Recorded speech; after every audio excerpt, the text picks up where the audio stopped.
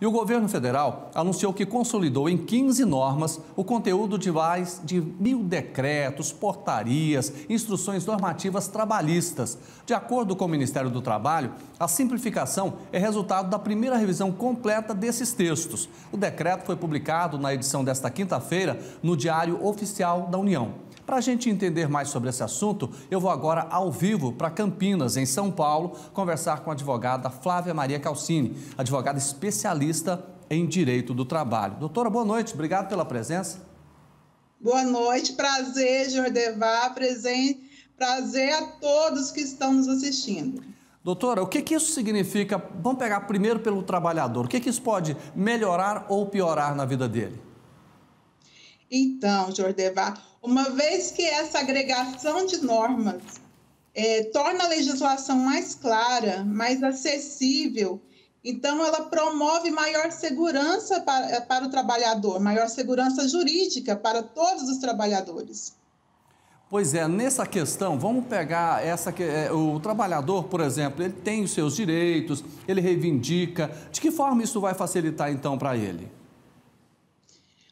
De que forma vai facilitar para ele? É de que, é que os trabalhadores, tanto o empregador quanto o trabalhador, terá mais transparência. O gestor conseguirá modernizar a gestão e o trabalhador conseguirá ter acesso com mais facilidade e com isso ficará mais próximo do empregador, o que poderá inclusive gerar para ele é, contratação. Ah, doutora, nós estamos tendo um pequeno probleminha na, na geração da imagem da senhora, ela está inclusive invertida. É, a gente vai dar um tempinho até para a senhora colocar direitinho isso aí. A gente volta nesse assunto enquanto a senhora. Ah, voltou. Que legal, que ótimo. Doutor, então, retomando essa discussão, para a empresa, o que, que pode facilitar? Ela facilita na gestão porque permite modernizar, permite agilizar, permite modernizar permite trazer o cidadão para mais próximo, então terá uma linguagem mais facilitada, facilitará a vida de todos. Tá certo. Isso já está em vigor a partir de hoje? Sim.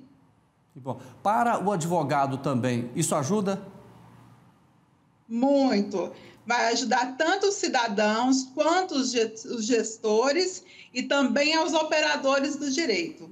Tá certo. Doutora Flávia Maria Silva, muito obrigado pela participação aqui ao vivo no Jornal Brasil hoje. Boa noite. Muito obrigada.